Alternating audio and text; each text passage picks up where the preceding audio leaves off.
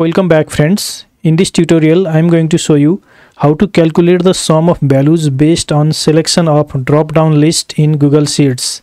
In this sheet I have the details of personal expenses track. My requirement here is to calculate the total expenses based on the category that I select from this drop down. Currently the entertainment category is selected and here I need to calculate the total amount for this entertainment category. In this case, we have a function that is the sum if function. So below the total expenses, let's use the sum if function. Press equal to type sum if open bracket.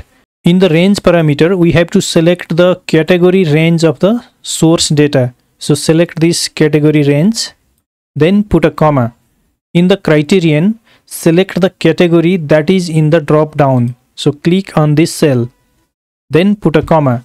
In the sum range, select the amount range of the source data or the values to be summed range.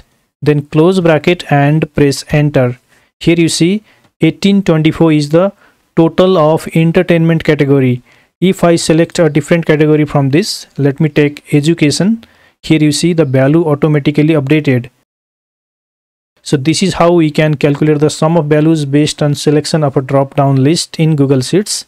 If you want to practice this, you can get these sheets from the link in the video description. Thank you so much for watching. See you in next video tutorial.